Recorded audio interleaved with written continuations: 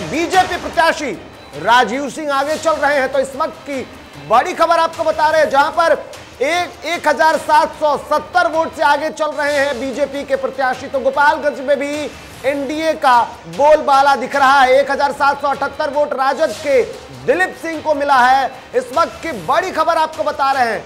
निर्दलियों को भी एक वोट मिल चुका है। तो गोपालगंज से इस वक्त की बड़ी खबर बता रहे हैं, जहाँ पर गोपालगंज से बीजेपी प्रत्याशी राजीव सिंह आगे चल रहे हैं। इस वक्त की बड़ी खबर।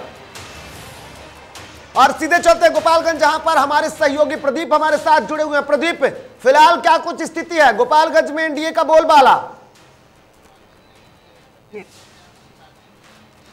में राजीव सिंह बीस मतों से आगे चल रहे हैं। हालाँकि इस दौरान बीजेपी कार्यकर्ताओं में काफ़ी हर्षो उल्लास है। मिठाइयाँ भी बटना शुरू हो गया है लेकिन अभी भी प्रशासनिक तौर पर बिल्कुल औपचारिक घोषणा अब तक नहीं हुई है। प्रदीप औपचारिक घोषणा अब तक नहीं हो गई है लेकिन लगभग जीत तय है।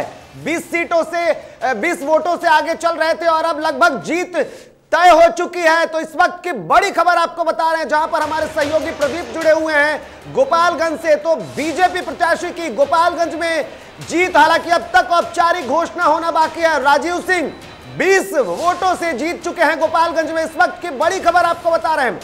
प्रदीप हमारे साथ जुड़े हुए हमारे सहयोगी। क्या कुछ हालात फ़िलहाल बने हुए हैं, प्रदीप? क्योंकि बीजेपी प्रत्याशी राजीव सिंह के जीत को लेकर पहले से ही कार्यकर्ता जो थे वह उत्सुक थे और इसको लेकर हालाँकि अभी जो चहल पहल दिखाई दे रहा है, वो चारों तरफ़ जो है कि बीजेपी कार्यकर्ता जो है कि रंग, गुलाल और मिठाइयाँ बांटते नज़र आ रहे हैं।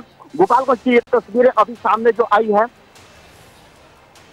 बिल्कुल तो इस वक्त की बड़ी खबर आपको बता रहे हैं, जहाँ पर बीजेपी की गोपालगंज में भी जीत हो गई है। तो इस वक्त की बड़ी खबर आपको बता रहे हैं 20 वोट से जीत हो गई है। गोपालगंज में बीजेपी प्रत्याशी की बीजेपी प्रत्याशी राजीव सिंह 20 वोट से जीत चुके हैं। तो राजद के दिलीप सिंह को यहाँ पर हार मिली है। काफ़ी टक्कर दिख रही थी यहाँ पर गोपालगंज में और ऐसे में अब गोपालगंज से बीजेपी या यूँ कहे एनडीए की जीत हो चुकी है। तो लगातार जिस तरीके से एनडीए इस 24 सीटों में 21 सीटों पर, जो कि उनके निवर्तमान सीट रहे हैं और उनमें अब जीत और हार की जंग जारी है और ऐसे में अब गोपालगंज से एनडीए को जीत मिली है। तो इस वक्त की बड़ी खबर आपको बता रहे हैं, जहाँ पर बीजेपी प्रत्याशी राजीव सिंह को 20 वोटों से जीत मिली है। राजद के दिलीप सिंह हार गए हैं। यहाँ पर बीजेपी को एक हज़ार सात सौ छियासी वोट मिले हैं, जबकि राजद को एक वोट मिले हैं। तो प्रदीप सबसे पहले आपसे ये जानना चाहेंगे कि लगभग ये